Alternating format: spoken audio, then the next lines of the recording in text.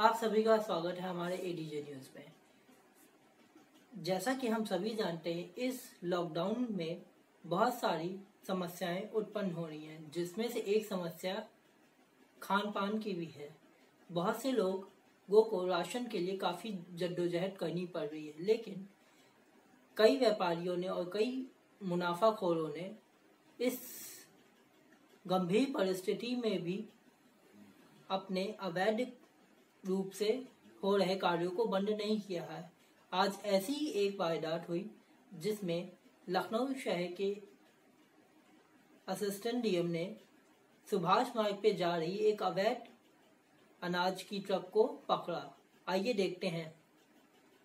की बढ़ती दरों को देखते हुए ये ये ट्रक, देखिए, आप देख सकते हैं ट्रक का नंबर।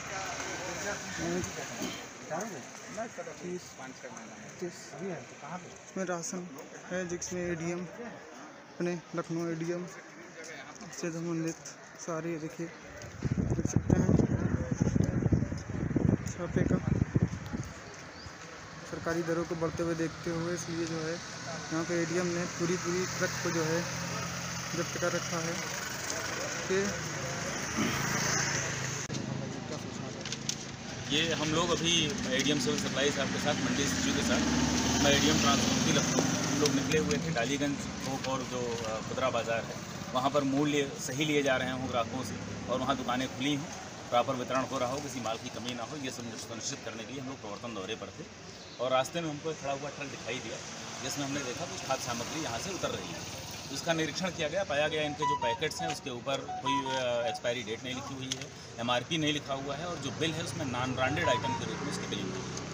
तो डीओ फ़ूड का जो डिपार्टमेंट होता है अभी अधिकारी खाद्य सुरक्षा का ये इन चीज़ों का परीक्षण करते हैं।